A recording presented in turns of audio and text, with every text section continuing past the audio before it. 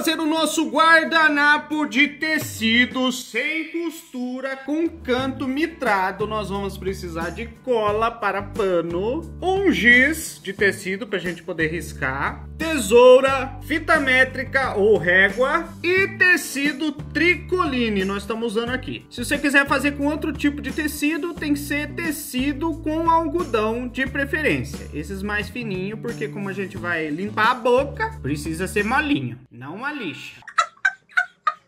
Outra coisa, é inter interessante que seja um tecido é, com algodão, porque nem todas as colas de tecido colam tecido mais sintético. Por exemplo, o Oxford. Essa cola, por exemplo, ela não cola o Oxford. Então aqui, como a gente não vai usar costura, mas sim a cola, é interessante que seja um tecido de algodão para colar bem.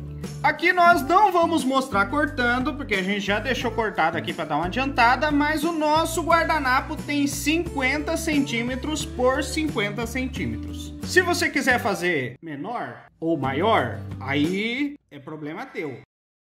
Mas o padrão desses guardanapos é 45 centímetros, que eles ficam em um tamanho bom e ótimo para colocar na mesa posta. E a medida final do nosso aqui vai ficar com 44 centímetros, porque a gente vai tirar 3 de cada lado para fazer as barrinhas que a gente vai colar e fazer o canto mitrado. Aí o primeiro passo do nosso guardanapo é virar ele de cabeça para baixo no caso do avesso, né? Do, do tecido.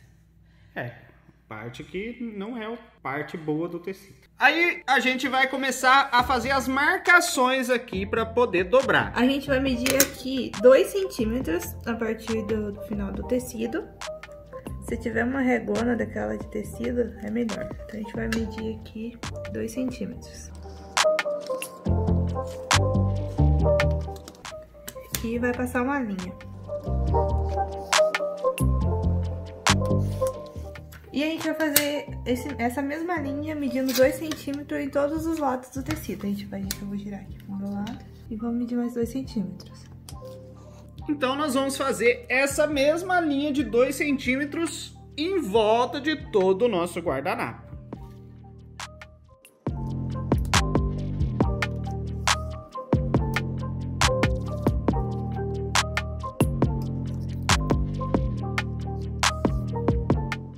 Aí fizemos a primeira marcação em volta de tudo. Aí a partir desta primeira linha nós vamos medir mais um centímetro e fazer uma segunda linha. Isso aqui um centímetro, um centímetro. Vamos fazer uma segunda linha em volta de todo o nosso guardanapo. Por que dessas linhas aqui? Essas linhas, essa primeira e a segunda que a gente tá riscando, vai ser a marcação para a gente poder dobrar o nosso tecido. Dobrar, colar e fazer as bordas do guardanapo.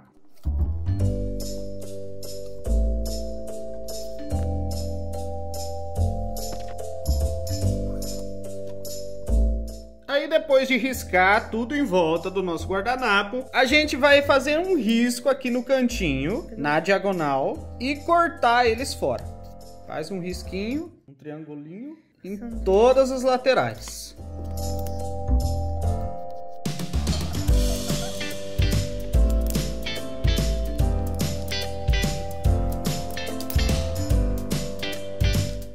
Riscou o cantinho ali, nós vamos tirar ele com a tesoura.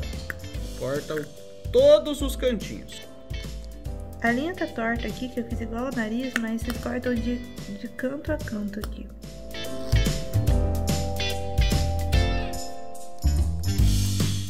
Aí depois de riscar, cortar os cantinhos, nós vamos marcar eles agora.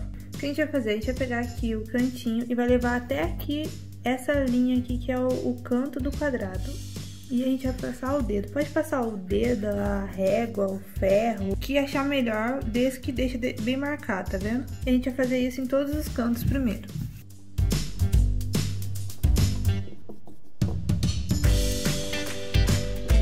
Esse daqui é pra ficar mais fácil na hora de colar, que ele já fica tudo dobradinho.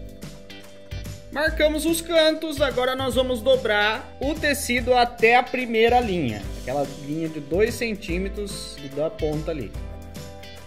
Aí vamos marcar também. Por que, que a gente tá fazendo essa marcação aqui? É para poder ficar mais fácil na hora de colar. Então você faz essa marcação da primeira linha em toda a lateral do nosso guardanapo.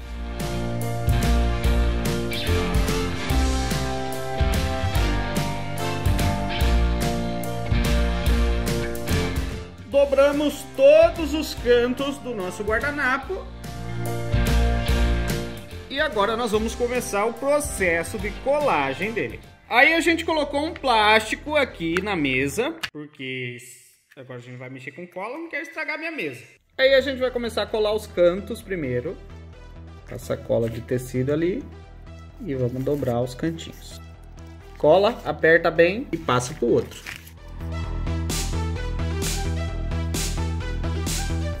Colou todos os cantos, aí a gente vai colar agora as bordas na primeira linha. Vamos dobrar, fazer a dobradura ali da barra, da bordinha, colando na primeira linha. Então aqui ó, usando já a marcação que você fez lá, a dobrinha, só gira aqui e cola. Colou, nós vamos fazer do outro lado até terminar o nosso guardanapo.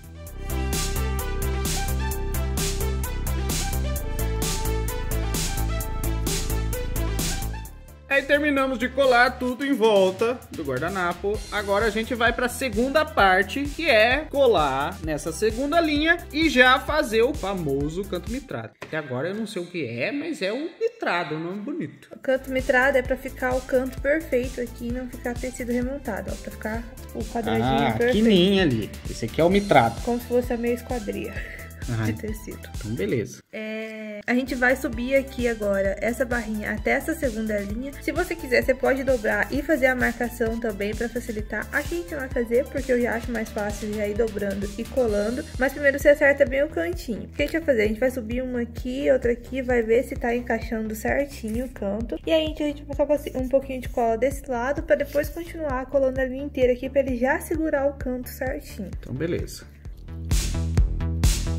Ó, e aqui para não ficar, a gente vai passar bem rente a linha a cola para não ficar sobrando e pode passar bastante cola porque não vai ficar duro e para colar bem, senão na hora de lavar ele vai começar a descolar.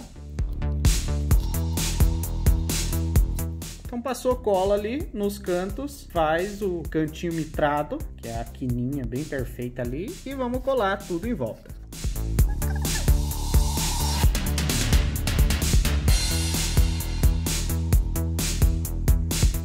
Ó, tá vendo que o tecido vai desfiando a ponta? Então, desse jeito, a gente deixa a ponta virada pra dentro e não tem problema de desfiar na hora de lavar.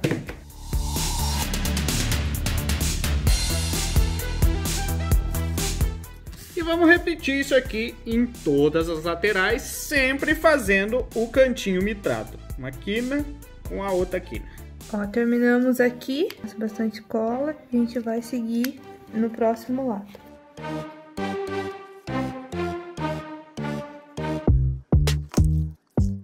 Ajeitar bem o cantinho aqui, canto com canto. E a gente vai seguir dobrando aqui em cima da segunda linha.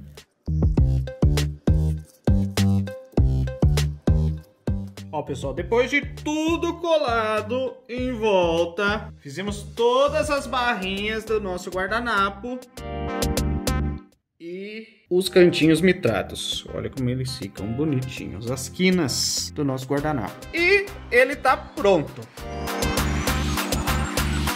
Fica um acabamento perfeito em cima também.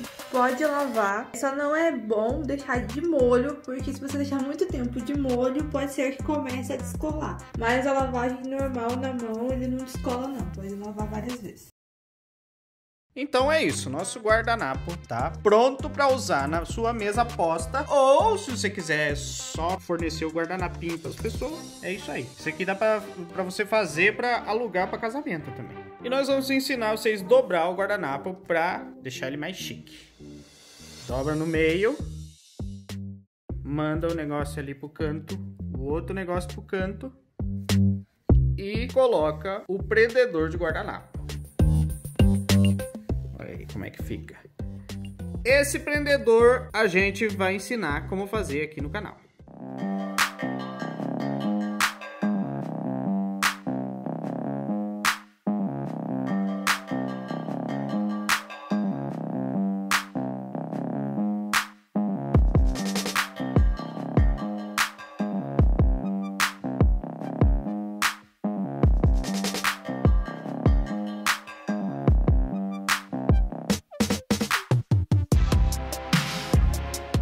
Pessoal, então esse é o nosso guardanapo sem costura, com o canto mitrado, colado. Vocês viram como fica fácil e como fica bonito. O resultado final fica lindo demais. Se gostou, deixa o like, se inscreva no canal, ative o sininho, deixe os seus comentários, compartilhe com seus amigos. Tem vídeo novo toda semana. Até a próxima. Fui!